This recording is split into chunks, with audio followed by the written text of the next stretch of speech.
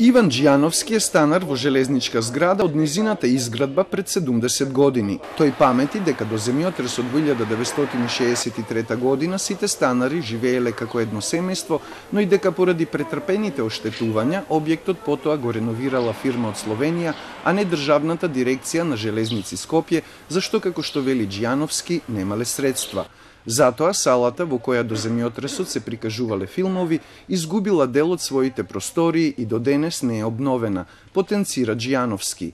Железница неќе да чуе, нема пари, нема пари.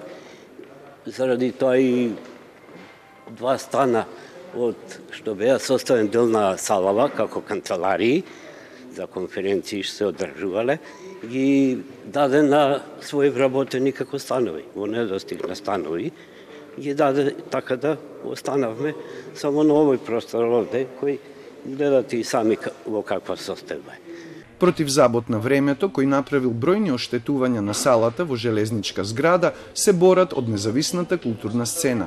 Велат ова е втор простор во Скопје по кинокултура, што се обидуваат да го заживеат повторно не само за уметниците, туку и за граѓаните кои живеат во непосредна близина. За таа цел соработуваат и со локалната власт постои диалог, постои интерес за соработка. Прашањето е кои се можностите, кои се правните препреки, кои се финансиските, меѓутоа ние сме тука заедно да застапуваме и тој процес колку и да трае, некаде поспор, некаде побрз, да го тераме до крај колку што може да вроди со никаков резултат а резултатите од конкурсот за идејни решенија на киносалата во железничка зграда од денеска се на увид на јавноста низ изложба во тој простор. Трудовите од 13 помлади архитекти ги оценуваше стручно жири, кое додели две пофалници, едно посебно признание, две втори и една прва награда.